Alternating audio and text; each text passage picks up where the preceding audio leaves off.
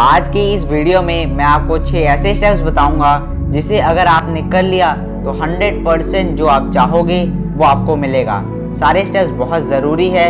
अगर आपने एक भी स्टेप्स को स्किप कर दिया तो ये प्रूवन टेक्निक आपके लिए काम नहीं करेगी।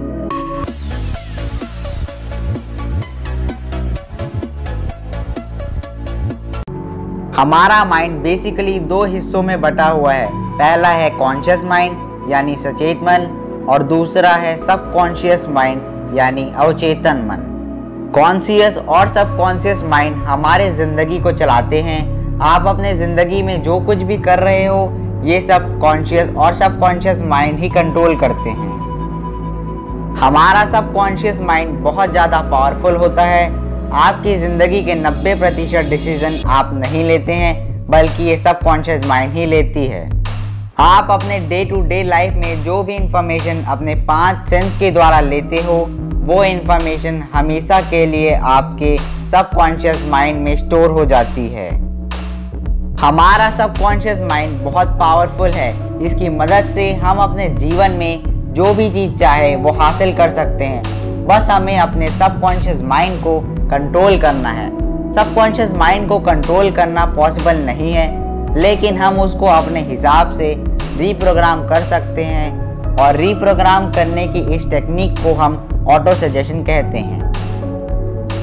हम अपने माइंड में पॉजिटिव इंफॉर्मेशन और सक्सेसफुल थॉट को फ़ीड कर सकते हैं बार बार उन थॉट को बोल के। ऐसा करने से आप इनडायरेक्टली अपने सबकॉन्शियस माइंड में पॉजिटिव इंफॉर्मेशन फ़ीड कर सकते हैं। जब हमारा सबकॉन्शियस माइंड टोटली ट्रेन हो जाता है तो हमारे माइंड में क्रिएटिव इंटेलिजेंस जिसको हम सिक्स सेंस कह सकते हैं, वो डेवलप हो जाती है। तो चलिए जानते हैं वो सिक्स स्टेप्स क्या है, जिसको फॉलो करके आप अपने जीवन में कुछ भी हासिल कर सकते हैं। Step number one fix in your mind what you want ये सबसे इंपॉर्टेंट स्टेप्स में से एक है। कई लोगों को तो ये भी नहीं पता कि उनको असल में क्या चाहिए। नेपोलियन हिल जो एक बहुत बड़े राइटर है, उन्होंने कहा है कि अगर आपके पास डेफिनेटनेस और पर्पस है तो उस चीज़ को पाने के लिए आपने आधा स्टेप्स पार कर लिया है। मान लीजिए कि आप एक बिजनेसमैन हो और आपने अभी अभी अपना बिज़नेस स्टार्ट किया है और आपने ये डिसाइड किया है कि आपका गोल है कि आपकी कंपनी जो किसी भी फ़ील्ड में हो सकती है, वो इंडिया की नंबर वन कंपनी हो और उस कंपनी के कारण आपकी इनकम करोड़ों में हो। Step number two establish a definite date when you intend to process your desire सिर्फ़ ये सोच लेने से कि मुझे ये चीज़ चाहिए, ये काफ़ी नहीं है। आपको एक डेट फिक्स करना पड़ेगा कि कब तक आपको अपने गोल को अचीव करना है। अगर आप वही बिजनेसमैन हो तो आपको ये डिसाइड करना पड़ेगा कि कितने समय बाद आपकी कंपनी इंडिया की नंबर वन कंपनी बनेगी। मान लीजिए आपने फाइनली ये सोच लिया है कि 10 साल के अंदर आपको अपने गोल को कंप्लीट करना है।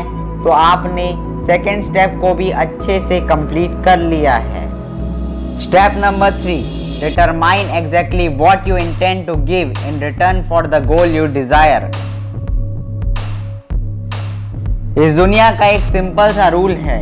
इस दुनिया में फ्री में कुछ नहीं मिलता। यानी आपका इतना बड़ा गोल कि इंडिया की नंबर वन कंपनी और करोड़ों में इनकम ये भी आपको फ्री में नहीं मिलेगी। अगर आपको अपने गोल को पाना है तो आपको उसके बदले में कुछ देना पड़ेगा। जैसे आप ये डिसाइड कर सकते हो कि आप अपने गोल को पाने के लिए कुछ सेक्रीफाइसेस कर सकते हो। आप अपने काम को पूरी कंसिस्टेंसी के साथ करोगे कंफर्ट जोन से बाहर निकलोगे प्रोकास्टिनेशन को त्याग दोगे और किसी भी हालत में गिव अप नहीं करोगे। इस स्टेप को फॉलो करने से आपने अपने गोल की तरफ़ एक और स्टेप बढ़ा लिया है। Step number four create a definite plan for carrying out your desire and begin at once whether you are ready or not ये स्टेप्स आपको आपके गोल को पूरा करने के लिए सबसे इंपॉर्टेंट इस स्टेप का मतलब ये है कि आपको अपने गोल को पाने के लिए आपको एक ऑर्गेनाइज प्लानिंग करनी पड़ेगी।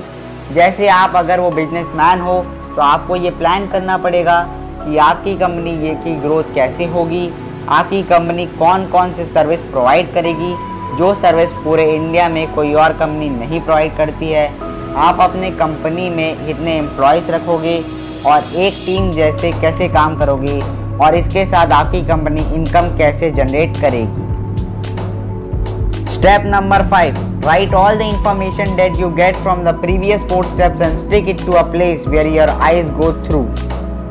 ये स्टेप थोड़ा इलॉजिकल लगता है, लेकिन ये स्टेप बहुत इंपॉर्टेंट है इस स्टेप के हिसाब से आपको सारी इंफॉर्मेशन को एक पेपर में या किसी और चीज़ में लिख लेना है। जो इंफॉर्मेशन आपने डिसाइड की थी पिछले फ़र्स्ट सेकेंड थर्ड और फोर्थ स्टेप्स में। और ऐसा लिख कर वहाँ स्टिक कर देना है, जहाँ आपकी नज़र हर समय उस पेपर पे या किसी और चीज़ पर हमेशा रहे। सिक्स और last step read your return statement aloud twice daily and once before sleeping at night and once after arising in morning इसका मतलब ये है कि जिस पेपर में आपने वो सारे इंफॉर्मेशन लिख कर रखा है, अब उस सारे इंफॉर्मेशन को पढ़ने का समय है। जो भी इंफॉर्मेशन आपने लिखा है, उसे आपको रोज सोने से पहले और सुबह उठने के बाद पढ़ना होगा, लेकिन सिर्फ़ पढ़ने से काम नहीं होगा।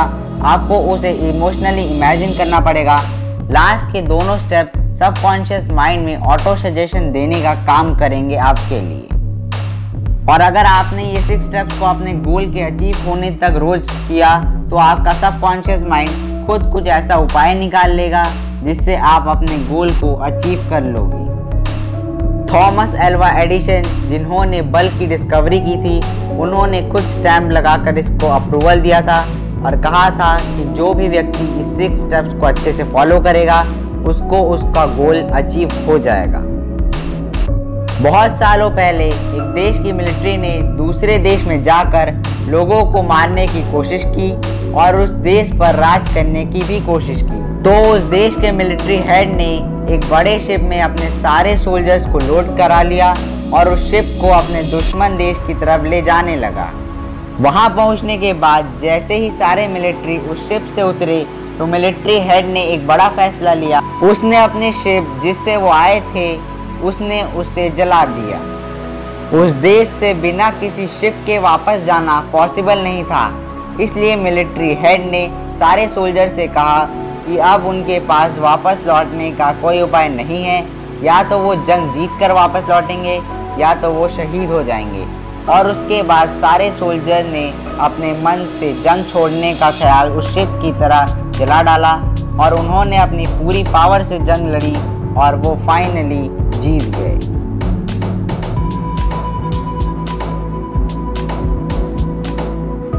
तो अगर आप किसी भी फ़ील्ड में हो, अगर आपने छह स्टेप को ऑटो सजेशन टेक्निक के साथ कर लिया है, उसके साथ आपने भी अपनी ज़िंदगी के शिप को जला दिया है तो आपका अपनी ज़िंदगी में सक्सेसफुल होना तय है।